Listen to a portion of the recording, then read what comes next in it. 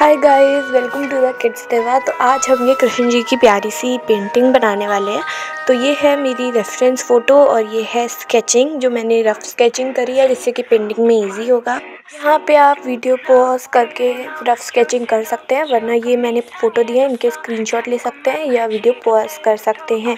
उसके बाद ये मैं वाटर कलर की हेल्प से ये पेंटिंग करूँगी। तो ये है मेरे वाटर कलर ये वाटर कलर ट्यूब्स हैं, इनमें ट्वेंटी फोर शेड्स हैं, जो कि ईज़िली बहुत इजी जिससे कि हम पेंट कर सकते हैं, क्योंकि इसमें बहुत सारे शेड हैं, हमें कुछ मिक्स ज़्यादा करना नहीं पड़ेगा।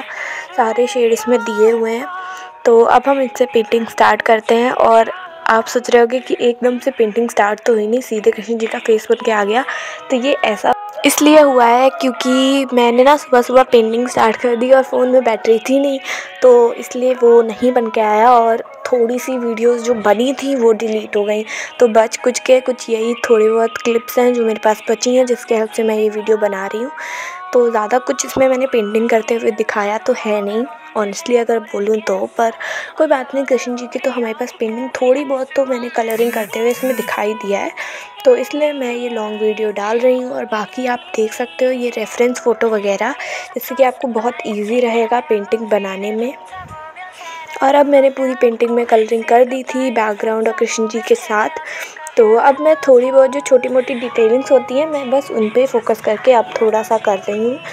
और ये कुछ three D outliner mandala art कुछ ऐसे ऐसे करके मैंने ये पूरी पेंटिंग कंप्लीट करी है।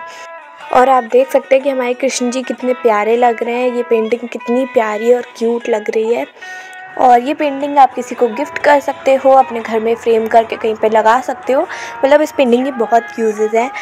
तो मुझे पता है आपको ये पेंटिंग बहुत अच्छी लगी है। तो अगर आपको ये पेंटिंग अच्छी लगी हो तो नीचे कमेंट करिएगा। मैं ऐसी और भी पेंटिंग्स लेके आऊँगी। तो अगर आपको ये वीडियो अच्छी लगी हो, कृष्ण जी अच्छे लगे हो तो वीडियो को लाइक करिए शेयर करिए चैनल को सब्सक्राइब करिए। Bye bye